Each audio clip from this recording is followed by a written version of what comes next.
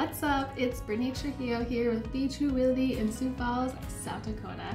Today I am doing a market update of July 2023. These are single family homes and Sioux Falls only homes. So sold houses, there's 402 sold houses, which is down about 11% from last July, which interest rates are affecting, go figure. But the good news is the average sold price is about 378,000, which is up 6.6% from last July. So surprise, houses are still appreciating and going up here in Sioux Falls. The average um, price received list price is like 99.4%. So some houses are going above and beyond the ask price and some are not. It kind of just depends on the price range and the house and all that good stuff, but still 99% of the ask price.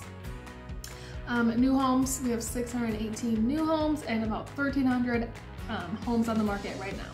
So there is still plenty of homes to look at and buy. Um, but if you have any questions regarding these numbers or any other real estate questions, reach out to me and I would love to help you however that I can. Thank you so much for watching and I hope to see you next time.